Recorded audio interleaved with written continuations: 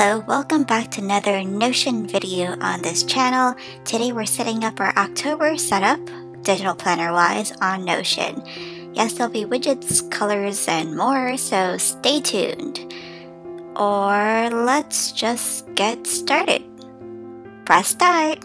Okay, first we're going to go into the template. You can find the link to my full tutorial and template down in the description box. But let's just duplicate this first duplicate and let's reorder it so October is right after September. Yes, I'm a bit type A. Okay, now that we have this page set up, let's rename it to October 1st. Okay, so I already went ahead and set up the dates because this is very time consuming and you've seen this a bunch of times on my channel before. But basically just click on each date and just select the date that's supposed to be correct. So yeah, like that. Let's just put it back to the right date which is October 4th which is the day I wanted to start at. Okay, so I'm envisioning a certain color scheme for the setup so let's start by changing the color of the background of this text for each date. So I want to do orange. And let's change that as well. Yep, and we just keep going. And if you're familiar with my setup, I configure it add a next week button, so we have to change the colors of all of these as well. The next day. Okay, let's be real, it didn't take that long. But Let's go to something more interesting. So you may have noticed I had this really thin bar on the top that I'm going to call a divider. You can configure that as well, change the color to match your scheme. So let me show you how to do that. So how you add these dividers is through an equation. So you just have to change the formula here. And this is, by the way, a very cool tool called Coolors.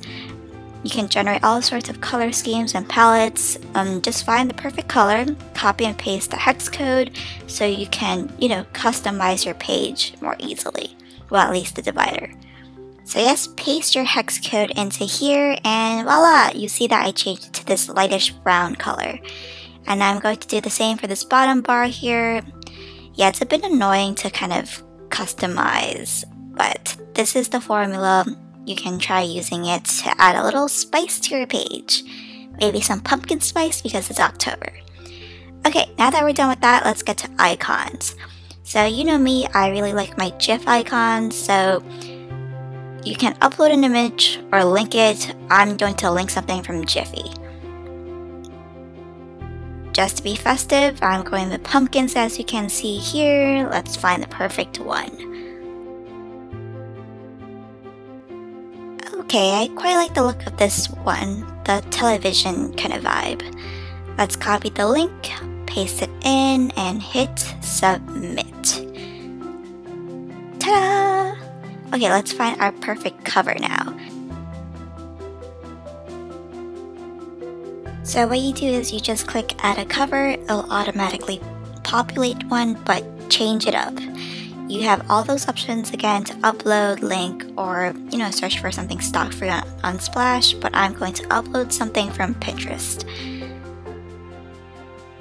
So I don't like to go too crazy with the cover just because I want the icon to stand out and you know, just don't need to go overboard. So just going to continue scrolling. Oh, I quite like the look of this one some starry vibes. So let's download this and I'm going to need to rotate it as well.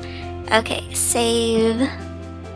And yeah, let's go back to Notion and we can upload this image. So there we go. You can also reposition this image, so I'm going to do that because I want part of the constellations to show. Okay, there we go, and that's the page. So normally I would end it here, but today I'm going to spice things up by revisiting widgets, because I know it's been a while and you guys are all curious. So I'm going to use Indify, which is a great source of these awesome widgets, very minimalistic but very functional. And I quite like the look of this analog clock, so I'm going to see if I can customize this And you can see there are many options, so you can toggle. Definitely play around with this, find what you like, but I think I'm going to play with something more minimalistic, such as this analog smooth kind of clock. So copy the embed link, go back to Notion, and find the perfect spot where you would like to add this. Unfortunately, you can't really add it to kind of the top or the header, and you know, I guess the header is, but I'm going to add it near the top. Um, find the embed function. Keep scrolling, keep scrolling. It's kind of all the way down, which is unfortunate, but it is what it is. You could also type forward slash embed and you should get that command as well. So I'm going to paste in the embed link. It'll take a second to populate. And there we go.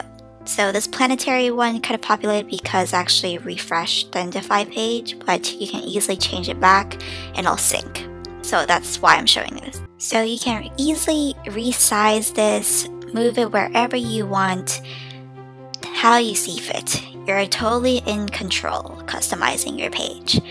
So I don't want it dead center, so I'm going to actually move it on top of this second right hand side column so that's kind of staggered and have like an even setup between the first half of the week and the second half of the week.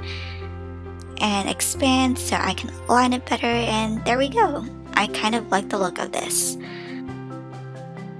And like I said earlier, Indify which it's automatically sync. So if you go back to Indify and you just switch back to the smooth analog clock instead of this planetary setup, you can do so and you just go back to Notion, refresh the page, and it'll go back to the smooth clock. And there you have it. Voila! Widgets, the color scheme that I picked out, and yeah, great icon, great cover page. Now let's do a final check or what I like to call the user test. Kind of like a tour. So if you favorite this page, you can easily navigate to your proper planner month in your spread and you'll see I have this color scheme going, that cute little widget in the corner courtesy of Indify. And whenever I want to start a new week, I can just click on this button that I pre-configured and yeah, Unfortunately, the columns don't populate, um, so I have to kind of recustomize each week, but it's no big deal. So I just select all the days that I want to go in the right hand side column, and I just drag it over. Of course, you want the rest of the first half of the week to go under the Monday bar, so that's what I'm doing now. Select and drag. Easy peasy, and you can always delete this at a new week after you added the new week. So, yeah, delete. There we go. And yeah, that's the finished product. And with that, we've reached the end of this video. Thank you so much for watching. I hope that you found this to be helpful. And make sure that you subscribe thumbs up on this video if you did find this to be helpful or if you liked it, and leave your comments down below. Let's share some tips and all that good stuff. And I'll see you next time. Bye bye.